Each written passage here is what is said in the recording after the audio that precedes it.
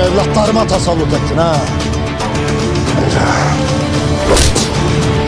असलकुम नाजरीन किया इमरान तकीन का आने वाले ही एपिसोड में एंड दिखाया जाएगा काफ़ी नाजरीन ये जानना चाहते हैं कि इमरान तकीन का एंड कब दिखाया जाएगा सीरीज़ में क्या नोयान की तरह ये भी जल्द मारा जाएगा ये सब जानने के लिए वीडियो को आखिर तक देखिए नाजरीन कराम तुर्कपोल इमरान तकीन एक तारीखी किरदार है अगर हम तारीख पर नज़र दोहराए तो इन्होंने उस्मान बेग को काफ़ी नुकसान पहुँचाया था। अब जबकि ये एक तारीखी किरदार है तो हो सकता है कि इसको सीज़न फाइव की एंड तक ही दिखाया जाए।